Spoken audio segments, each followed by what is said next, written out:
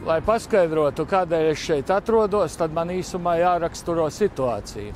Mana sieva slimo ar C hepatītu. Viņa ir divas reizes nesekmīgi ārstējusies. Vienu reizi pusgadu, otru gadu ilgi. Tas nozīmē, ka viņu var glābt tikai jaunākās paudzes zāles pret C hepatītu. Valdība šīs zāles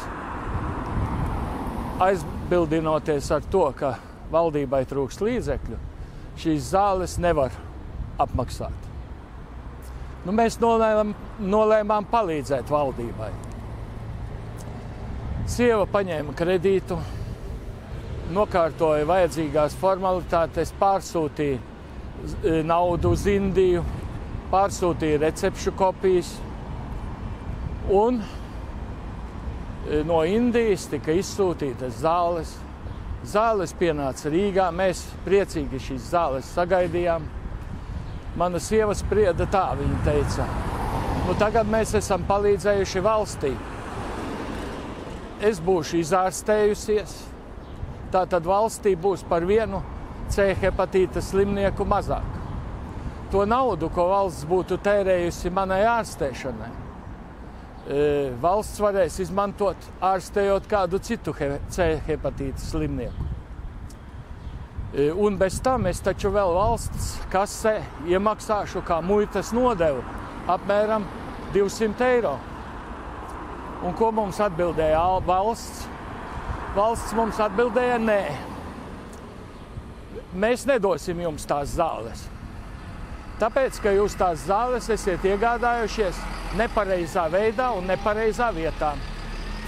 Lūk, ja jūs tās zāles būtu iegādājušies veselības ministra dēlam piederošajā aptiekā par 25 līdz 45 tūkstošiem eiro, tad valsts jums atļautu šīs zāles saņemt un lietot. Un valstī neinteresē, ka mums nav tādu līdzekļu. Ja valsts nespēju ārstēt cilvēkus, var izskaidrot ar līdzekļu trūkumu, To nevar izskaidrot nekā citādi, kā tikai ar, ar valsts mēroga lobiju vietējām farmaceitiskajām tirgumam. Un tad ir skumji lasīt, ka dažādas amatpersonas cenšas šādu valsts rīcību attaisnot. Šobrīd valsts ir atņēmusi tiesības ārstēties manai sievai, neko nedodot pretī. Un šī tiesību atņemšana ārstēties tiek pamatota ar rūpēm par, ar rūpēm par zāļu kvalitāti.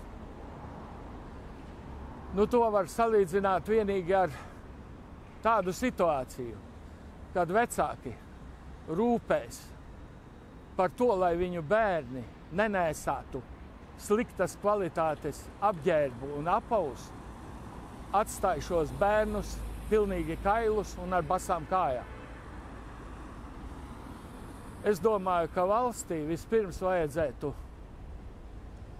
rūpēties par to, lai iedzīvotājiem būtu pieejamas, normāli pieejamas zāles un normāli pieejama ārstēšana. Un tikai pēc tam jāizrāda aizkustinošas rūpes par zāļu kvalitāti cilvēkiem personīgi domātajos sūtījumos no ārzemēm. Valsts slimniekam pasaka, jūs, jūsu aknas vēl nav pietiekoši sagrautas, jūs vēl neesiet pietiekoši slims, jums zāles nepienākās. Lūk, tad, kad jūs atnāksiet un jums būs tās aknas sagrautas, sāksies ciroze, jā, tad mēs jūs sāksim ārstēt pa valsts līdzekļiem.